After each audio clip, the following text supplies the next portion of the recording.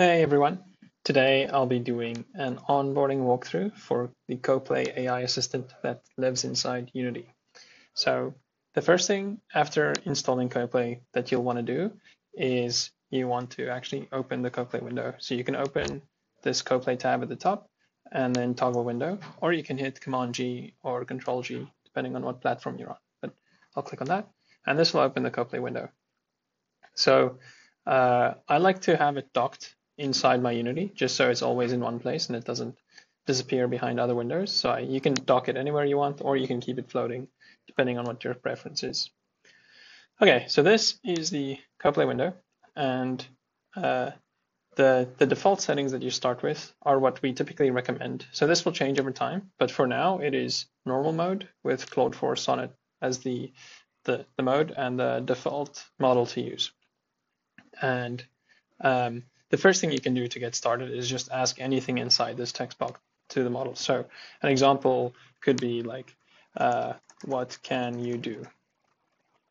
And then we can see actually what the model responds with here, but typically it should tell you, give you a rough overview of what it can do. So here's, it'll start listing all the different things it can do. Okay, so that's the main stuff you need to know. Now I'll dive deeper into uh, the various sort of niche and more specific things that would help you get along in like more intermediate to advanced use cases. Okay, so everything we see over here, at the top here we have the new chat button. So if you open this, this will start a new fresh chat. That's quite useful when you want to preserve context. So you can also see the amount of context that's being used down here on the right. And typically you don't, you want to keep this to minimum. The less uh, the smaller context the model has to work with, the more accurate the results will be. However, there are cases where, uh, for example, you have something that the model has sort of learned about the project already inside one long chat thread, and then typically it would make sense to um, just keep doing that same relevant task in that long chat thread. Now, another thing that's re related to that is the chat history. So over here, you can see all the different chats I've had in the past. And again, this is sort of useful if you want to go back to something where the model was really good at understanding what's happening for that specific task, and you want to continue down that thread. So you can open that up. Um, let me open up this one. And here you can see all the messages and screenshots that the interactions I had with the model. And from here, you can continue to ask it anything else. And you can see here it used 44% of the of the context, and this whole thread cost me $7. Okay, so that's the history. Then the second thing, let me just open this here to clear it out. Um, second thing you want to take note of is the settings. So your device ID is just used for debugging mainly. You can also actually add your own Anthropic API key. So what this will do is it'll use your Anthropic API key instead of um, instead of you having to pay Coplay to use uh, AI. You can just pay Anthropic directly and use Coplay for free.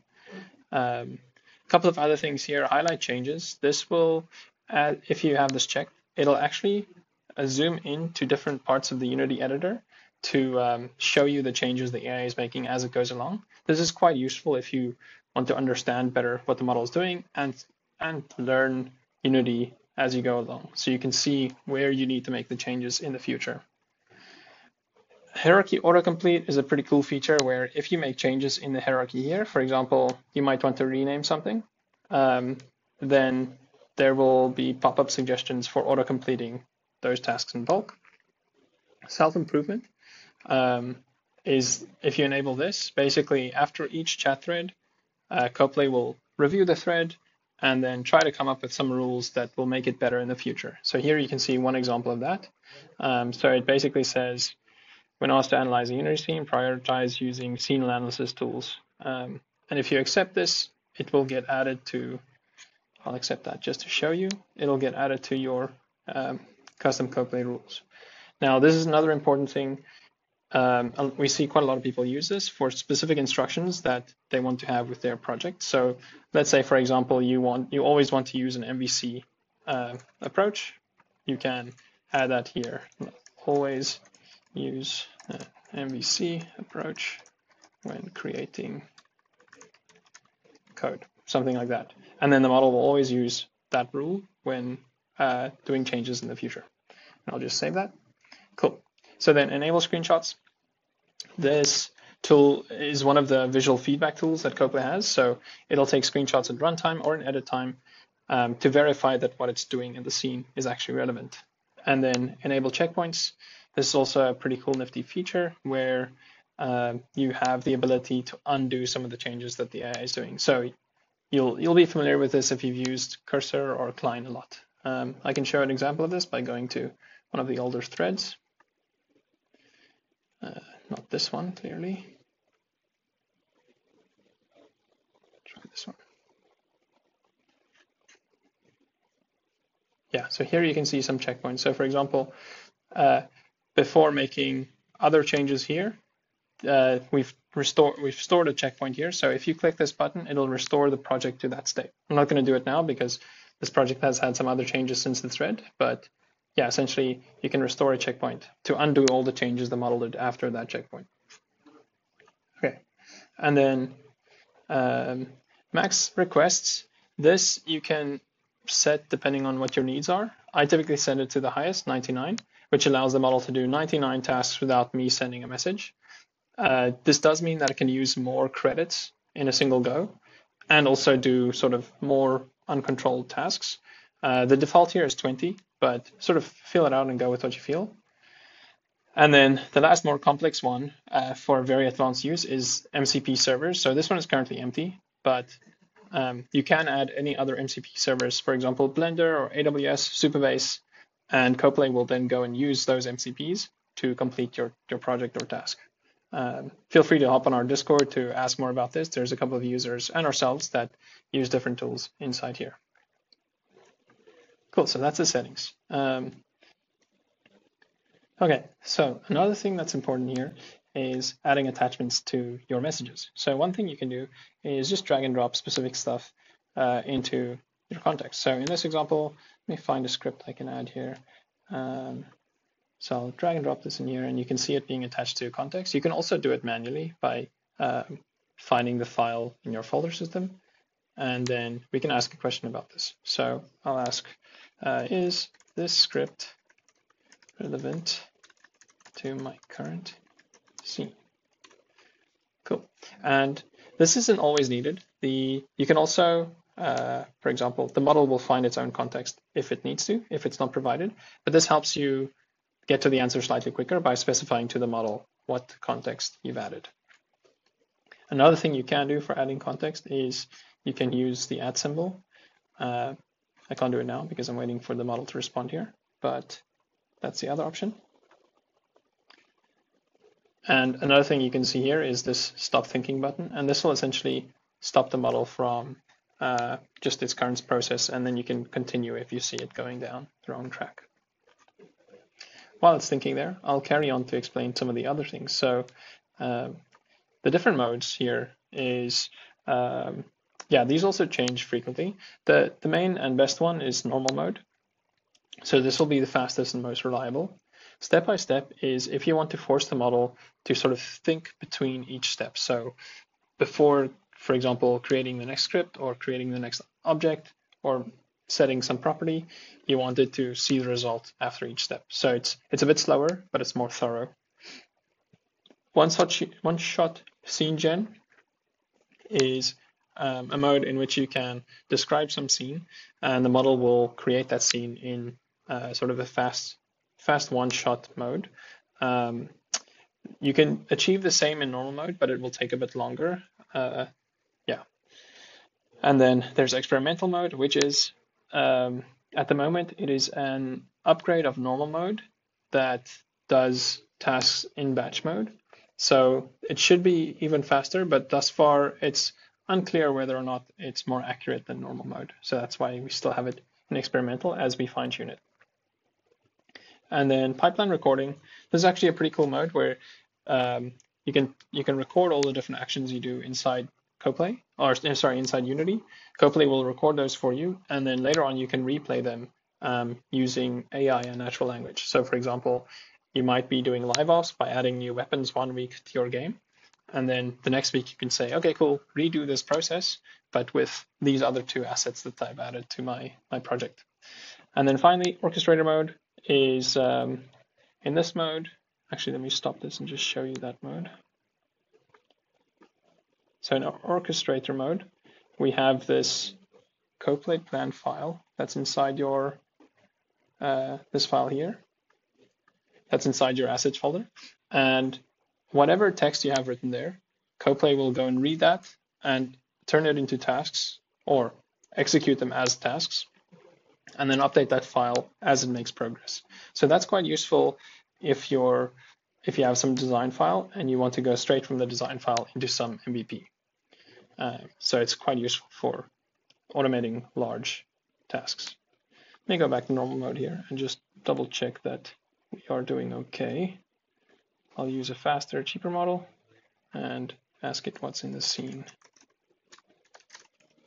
Let's see if that works. Ah, I see there's something wrong here with images. Let me stop this. It's trying to add a bunch of images to our, let me restart Coplay quickly. So that's another important thing. If Coplay ends up in a weird state for you, just uh, restart the window and that should refresh all the different um, attachments, for example, that might be added. Let's try that again um, with this fast model. What's in the scene? Cool, there we go. That makes more sense. And then let's redo that demo. So if I add, uh, let me add it, go to scripts again and rocket projectile. Yeah, I can use that one. So if I attach the script, um, does this script have any relevance to the scene? And let's use a slightly smarter model. So Claude Sonnet. I'll go through the models in a second. But now I've attached this context. So the model knows I'm referring to this script. Um, and I'll basically go through the current scene to figure out uh, figure out if this script is part of the scene or relevant to it at all. So it's not used in the scene, different context, blah, blah, blah. So yeah, seems pretty accurate. Okay, then one other thing, let me remove the, the attachment there. I'll actually just start a new thread, go back to this fast model, and I'll turn off this auto approve just to show you what I mean here, but um, I've had it on all the time now, but if we want to create things and you want to control it, um, so let's say I want to create four cubes and four random scripts and attach them to each cube. Okay, so I'm running this model. I've got auto approve turned off. So now instead of executing them automatically, I can see the actions before executing them. So I can say, okay, cool, I want to execute this one. I said created that cube, but I don't want to execute this one, so I'll cancel it. And I do want to execute this one and this one.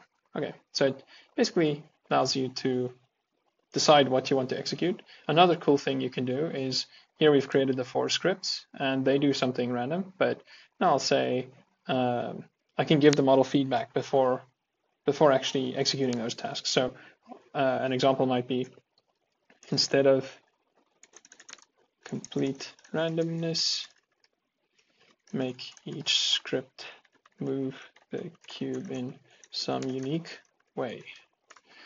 Okay, so now you can see here that I've given that feedback. It adds the feedback here instead of complete randomness to each of the, the function calls.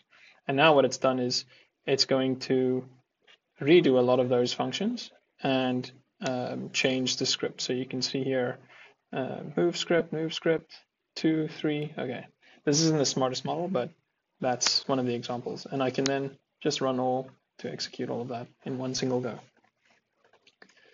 Okay, so that is the auto approve. I'll stop doing that for now.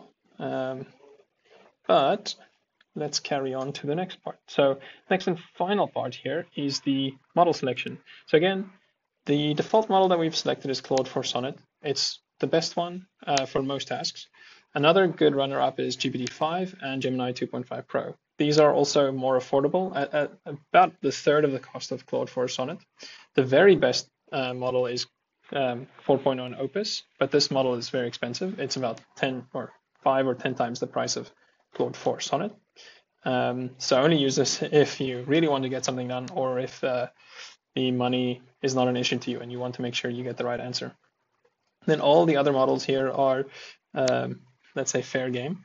Uh, some of them, for example, this one is free, but it does have rate limit, like severe rate limits, so it's hard to get something done um, just with that one. But yeah, as I mentioned before, you can always add your Anthropic key here um, to run everything here at complete cost. And for now, Coplay is also charging this at cost, so uh, everything you use here is just directly sent to the LLM providers.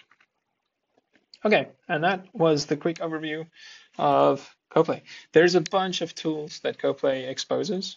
Um, it's hard for me to go over all of them, but yeah, if if you ever have a question about anything, the best place to go is just to ask the model itself, like why did you do this or why use this tool, um, for example, and the model will tell you. And that's a wrap. Thank you everyone for tuning in, and I hope you have a good time with Coplay. Thank you.